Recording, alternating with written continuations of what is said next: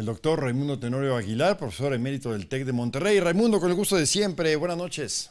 Buenas noches, Carlos, y feliz inicio de semana. Igual. Y bueno, mira, pues pese al rebote de la economía, no hay muestras todavía de recuperación en México. Por el contrario, se observan señales de un nuevo episodio de debilidad, principalmente por la limitada inversión privada y pública, un estancamiento del consumo y de las importaciones y exportaciones y que son evidencia de que la economía no ha recuperado lo perdido durante la pandemia.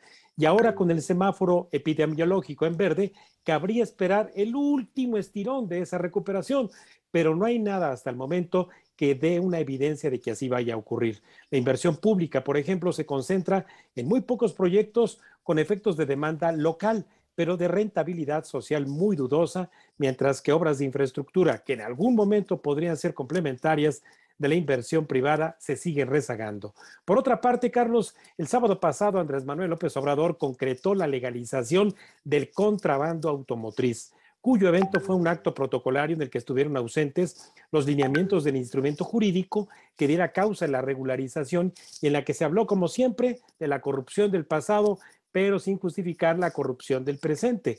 La industria, la industria automotriz, Carlos, no descarta interponer amparos en contra del decreto del presidente de regularizar estos vehículos ilegales a los que hemos denominado autos chocolate. La regularización del contrabando de automóviles arrancará en los siete estados de la franja fronteriza de nuestro país con Estados Unidos y se ha dicho que se cobraría 2.500 pesitos por cada trámite de regularización y que lo recaudado se dejaría en esas entidades federativas para fondear el bacheo de calles, que por cierto en el Valle de Toluca nos hace bastante falta.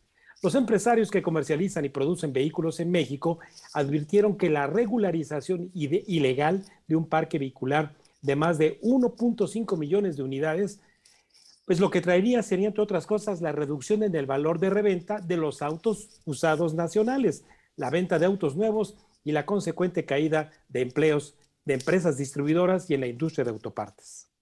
Raimundo, con el gusto de siempre. Mañana cuentas claras. Sí, no se lo pierdan porque vamos a tener una evaluación desde un ángulo que poco se habla de él, que es el impacto fiscal que tendría eventualmente la contrarreforma eléctrica.